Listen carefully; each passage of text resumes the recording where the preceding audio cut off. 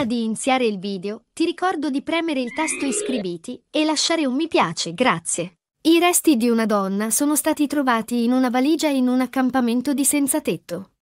Si tratta del primo aggiornamento noto a quasi un anno dalla sua scomparsa avvenuta l'anno scorso. Stando a quanto riportato dal quotidiano, pochi giorni prima del ritrovamento dei resti della donna scomparsa, si era verificata una sparatoria nei pressi dell'accampamento dei senza tetto, cosa che aveva spinto le autorità a sgomberarlo.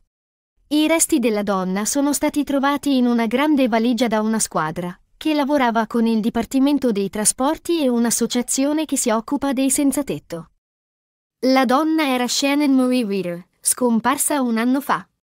Il ritrovamento della donna scomparsa è stato fatto all'interno di un accampamento nel distretto di Jose Resort Park di Seattle, dopo che le persone che stavano sgomberando hanno sentito odore di decomposizione. Secondo il Seattle Times, dopo il loro ritrovamento, i resti di Shannon Marie Reader, 37 anni, sono stati consegnati all'ufficio del medico legale della contea di King, che determinerà la causa della morte, secondo la pattuglia statale.